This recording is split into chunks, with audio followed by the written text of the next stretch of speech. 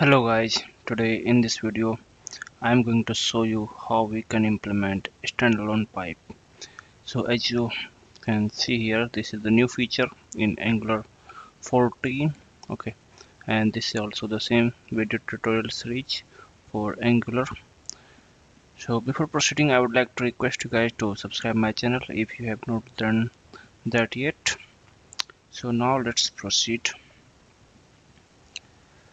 okay and so here is the command to create the standalone pipe ng generate pipe and then pipe name and in the last double hyphen then standalone.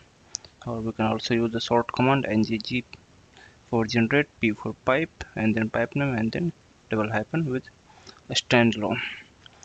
Okay so now let's move to the visual studio code and here you can see this is the same code where we left in the earlier video. So these are the implementation of inbuilt pipes. So now uh, we'll create uh, I mean these are the inbuilt pipes. So, so now we will create a standalone pipe. So I will reuse the command. So this is the command you can see. So I am going to create it inside a folder called pipes. Okay.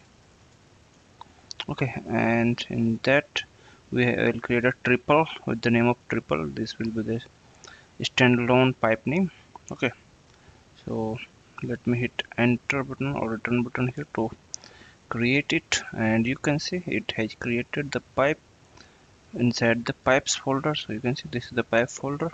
And here I have triple. Okay. So as you know spec.ts is for testing purpose so we'll not go with that right now. So I'm going to create here a, like a pipe which will return the three times value. Whatever will pass as a number. So I will keep I will change it into numbers okay because I want to return the number from here and want to multiply three times with any value. So I will do value multiply by 3 I will save it okay. And now uh, the next task is to use this um, in the module file basically. So I will go to app.module.ts and here I will use that module. So I cannot use that module inside the ng module because that is the standalone pipe. Okay. So what I will do here I will use that in the import section. Okay because of the standalone feature of standalone pipe. So here I will do triple pipe. You can see it is giving a specification and it will also add a reference at the top. So you can see this triple pipe it is added here import and here it is added here as imports. Okay now I will save it. Save both the files basically. Okay. This pipe will also I will save it. Okay. And then I will um, I will go to app component.html file and here I will use that pipe. So I will create one h2 tag here. Okay.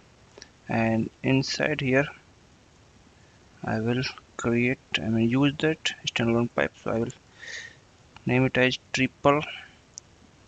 Okay. And here I will I will use uh, a number basically I'm using the same number test number and here I will use pipe symbol and then I will use triple so now let me save it and use npm start to run this. Okay and now you can see it is running with on localhost 4200 port number.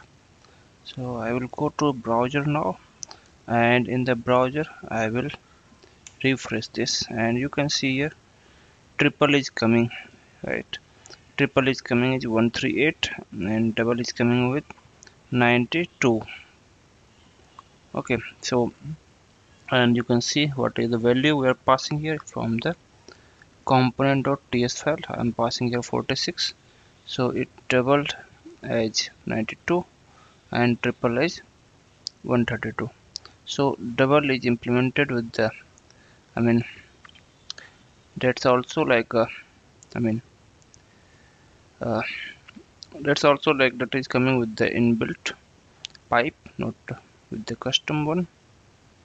I mean not sorry that is also from the custom pipe. Okay.